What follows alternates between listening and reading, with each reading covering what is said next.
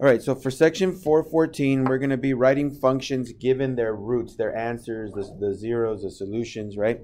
So um, they're going to give you the answers and they're going to say, write us the function that it came from. Now, if you see something like this, so if you see, uh, and maybe like the problem says um, 2 multiplicity 3. If that's all you see, okay, if that's the way they start you off, then what that means is that your answers, uh, then your answers are 2, 2, and 2. Does that make sense, right? 2 three times, right? Multiplicity of 3 means it happens three times. That means that when you guys have to do this problem, you're going to write it out like this.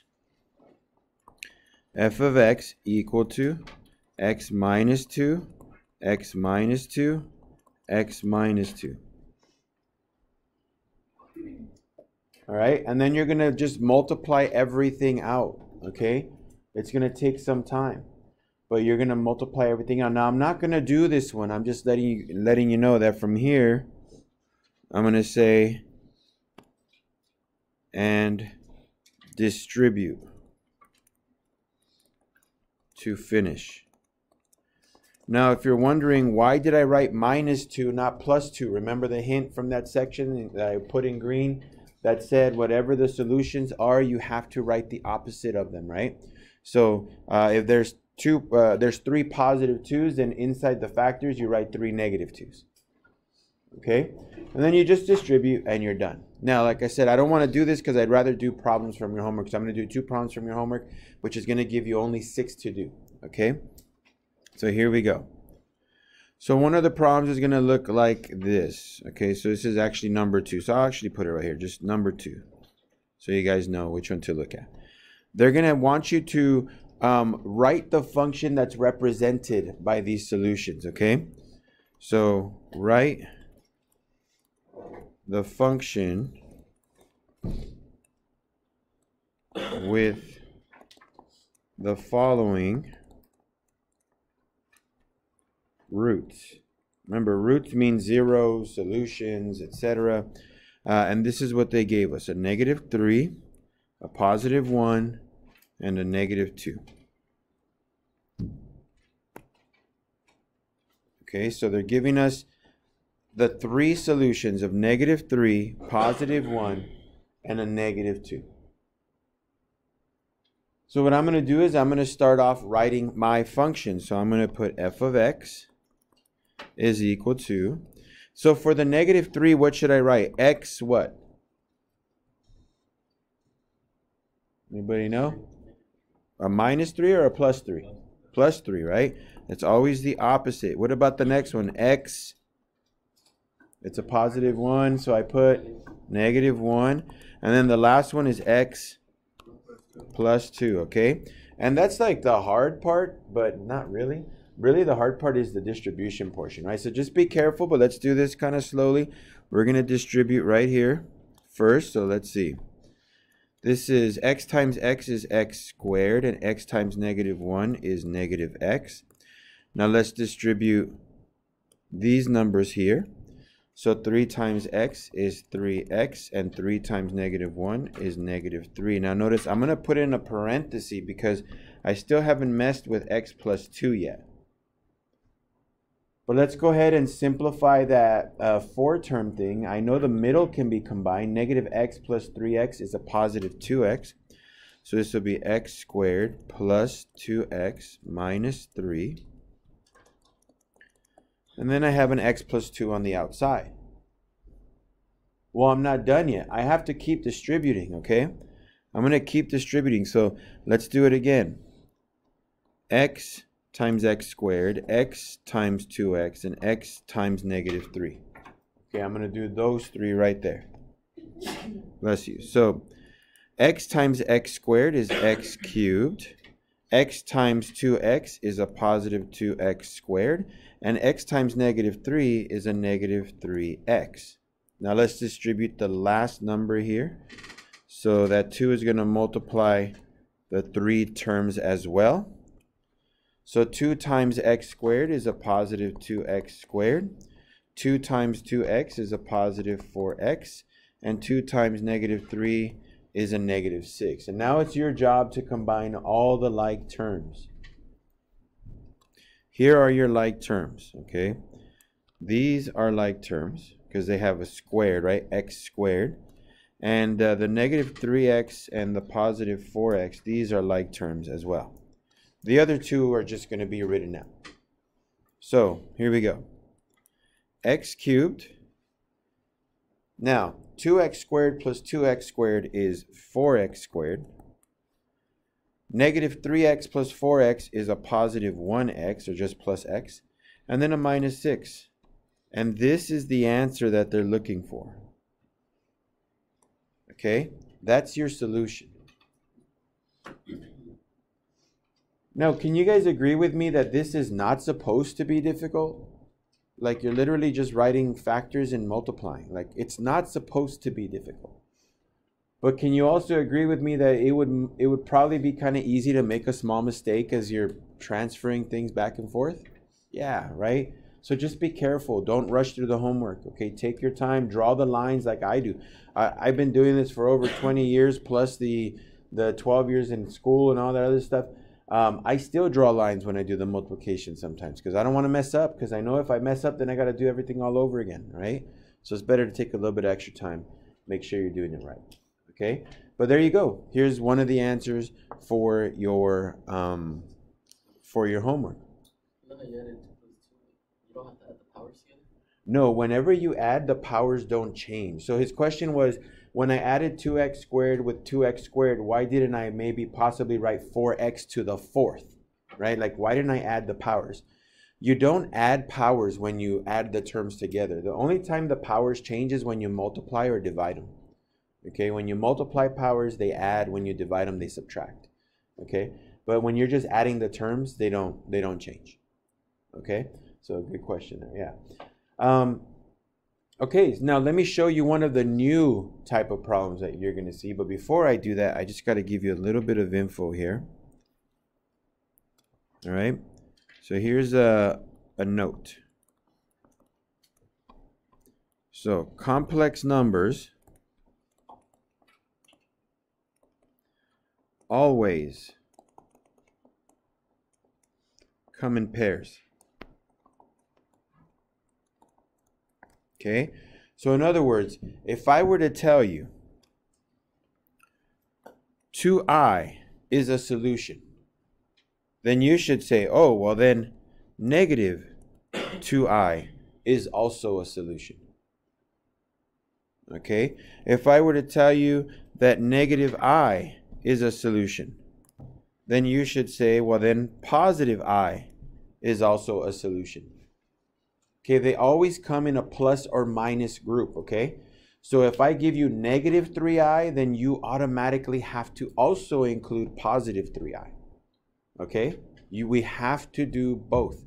And they never really put both of them there for you. So they're trying to see, like, do you remember this? So this is going to be, uh, the one I'm going to do right now for us uh, is going to be number 8. Okay?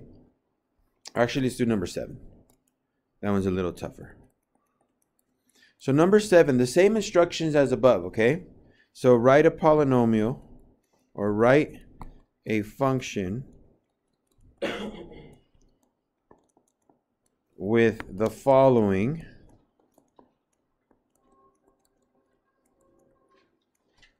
roots. And the roots are 3i and 2i.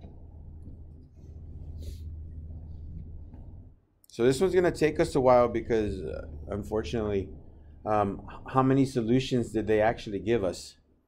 I mean, you see two, right? But doesn't each one of those have a counterpart as well, right? The other. So there's really, if I write this out, a negative 3i and a negative 2i as well. So there's how many factors am I going to have then? How many of those little parentheses am I had to write? Four of them, That's a lot of work, right? So, you know, again, it's not that it's supposed to be crazy difficult, but it, it can get complicated. So here we go. f of x. By the way, when you write your factors, keep the the related imaginary numbers or the complex numbers together. So the 3i and the minus 3i, I'm going to put them together. Okay, so like this. The plus 3i, I'm going to write x minus 3i. And then the minus 3i, I'm going to put it next to it. Okay, so that's a plus 3i. for the. So I did this one and this one first. Trust me, keep them together. The counterparts, put them together because when you multiply them, things happen where things start to cancel out and it becomes a nice thing to, to see. So you want to keep them together.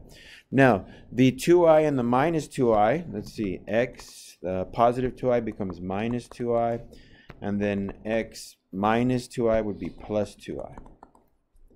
Now here's the trick. When you do these complex numbers, always multiply the groups that, that have the same looking answer, right? Just I know one's plus, one's minus. Always do those first. So I'm going to do these, the ones that I have them in color, I'm going to do those first together. Okay, I'm going to do the yellows and then I'm going to do the blues, but I'm not going to intermix, not yet. Okay, let's do the, the first two together and the last two together.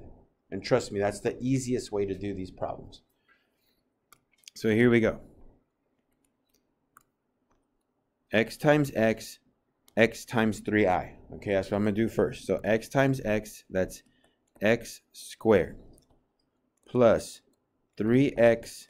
That's x times 3i, that's 3xi.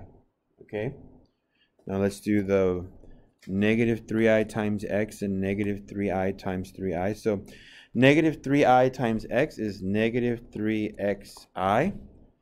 And negative 3i times a positive 3i that's a negative 9i squared.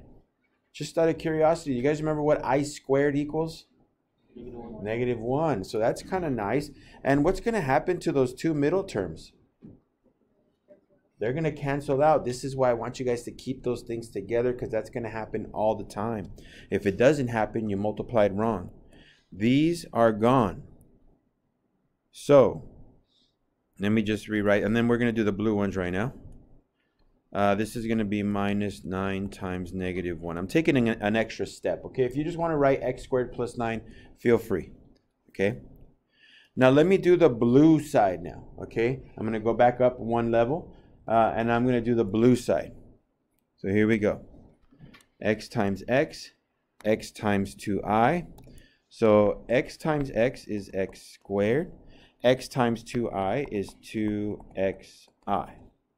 Now let's do the other. Negative 2i times x and negative 2i times 2i. So um, negative 2i times x is negative 2xi. And negative 2i times a positive 2i is a negative 4i squared. Notice the terms in the middle for that one. Do those cancel as well? The the 2xi minus 2xi? Yeah. That's supposed to happen. If it doesn't happen, check your work. It's supposed to go away. So if I rewrite my next factor, it's x squared minus 4 times negative 1, right? Because i squared, I'm going to put that right here, as i squared equals negative 1. Okay, we're almost done. Let me uh, write this out cleanly here. x squared plus 9, x squared plus 4. So all I have to do now is multiply that and I'm done, okay? I just got to multiply x squared plus 9 times x squared plus 4. So again, you can see why I say this isn't hard to do, but there's so much work. You want to just be careful. Don't mess up, okay? So here we go, x squared times x squared, x squared times 4. So we get x to the fourth. So right here, Isaiah, the x squared times x squared did add the powers, right? Because I'm multiplying. If I multiply, the powers add up. So 2 and 2 is 4. So x to the fourth. And then x squared times 4 is 4x squared Now let's do the bottoms here. 9 times x squared and 9 times 4. So 9 times x squared, that's a positive 9x squared. And 9 times 4 is 36. Combine your middle terms and you're done. So x to the fourth plus 13x squared plus 36. And that's your answer. So the main thing you got to be aware of here is you're going to have imaginary numbers. Uh, if you have an imaginary number, make sure you always include the counterpart of it, right? If you have a positive 4i, make sure you include the negative 4i. And then when you put them in their factored form, right, with the parentheses, always keep your imagine numbers, imaginary numbers that kind of match together, like the way I did it, right? Like you can see that they're highlighted. Try to keep them together. That way, when you multiply, the middle terms will cancel out and it makes the work easier. Okay, not a lot easier, but easier than if you mix everything together. All right, so this is your homework. I'm going to give you guys the assignment and just start working on it.